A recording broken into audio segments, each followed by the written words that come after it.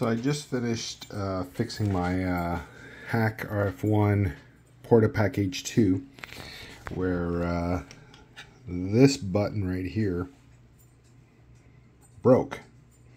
So I went to Amazon and you can get these like 200 pieces for less than 10 bucks and the one that I'm using I think was the the 8 high um, but then once you get it, you'll notice, use my dog in the background.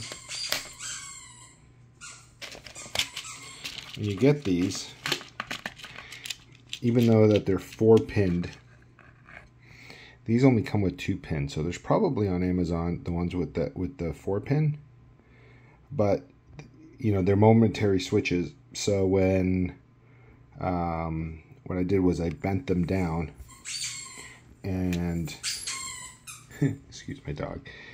And these are the two when you bend them down. And then on this side there's enough metal on the back side where I can actually complete the solder joint. So now when I turn it on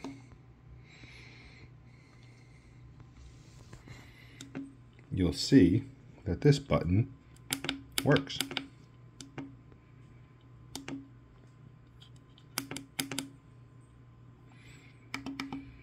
So it's a quick fix. Nine bucks.